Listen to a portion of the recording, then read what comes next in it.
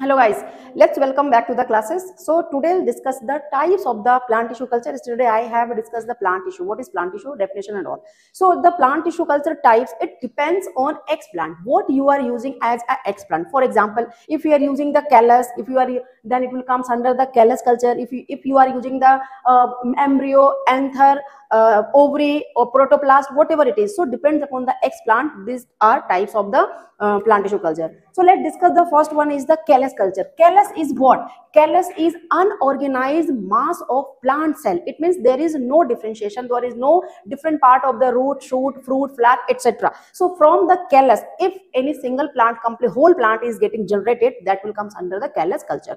Next one is the embryo culture. So the embryo culture means here we are taking the embryo as a explant. Why we are going for the embryo culture? We are going for the seeds that having the premature sterile condition or that is gone under the dormant condition. Then we are going for the embryo culture like the seeds dormant seeds.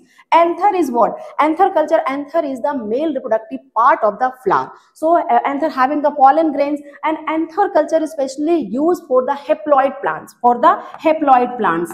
Means we need the haploid plants then we are going for the anther culture Meristem. Meristem is the part of the plant shoot. It is present here at the tip. Meristem culture. Meristem culture is a use for the virus-free plant. If we need the virus-free plant, we are going for the meristem culture. Next one is the seed. So in the seed culture, we are using here seed as a explant. If we are using the seed as a explant, then it will come under seed culture. Next is the ovary culture. So ovary is the female reproductive part of the flower. So again, ovary culture is needed for the if we need the haploid plants. If we need the haploid plants, means where the chromosome number is n, then we go for the ovary culture. Next is the protoplast culture. Protoplast is having the all the cell components except the cell wall. There is no cell wall. So the protoplast, uh, protoplast fusion is a term where we are fusing the two different protoplasts from two different plant species. So protoplast culture is also used and also it is a type of plant tissue culture, important type it is. And next is the organogenesis. Organogenesis means the